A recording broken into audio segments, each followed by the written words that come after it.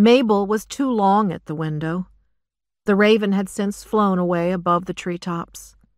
The sun had slipped behind a mountain and the light had fallen flat.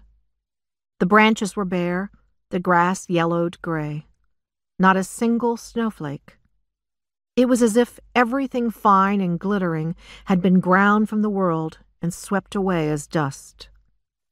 November was here, and it frightened her because she knew what it brought cold upon the valley, like a coming death, glacial wind through the cracks between the cabin logs.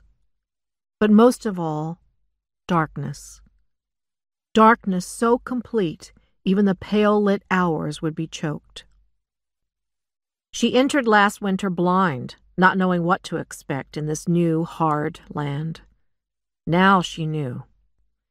By December, the sun would rise just before noon and skirt the mountain tops for a few hours of twilight before sinking again. Mabel would move in and out of sleep as she sat in a chair beside the wood stove. She would not pick up any of her favorite books. The pages would be lifeless. She would not draw. What would there be to capture in her sketchbook? Dull skies, shadowy corners, it would become harder and harder to leave the warm bed each morning. She would stumble about in a walking sleep, scrape together meals, and drape wet laundry around the cabin.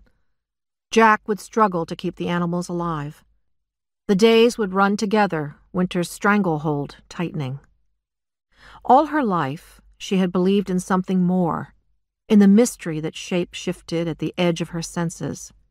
It was the flutter of moth wings on glass and the promise of river nymphs in the dappled creek beds.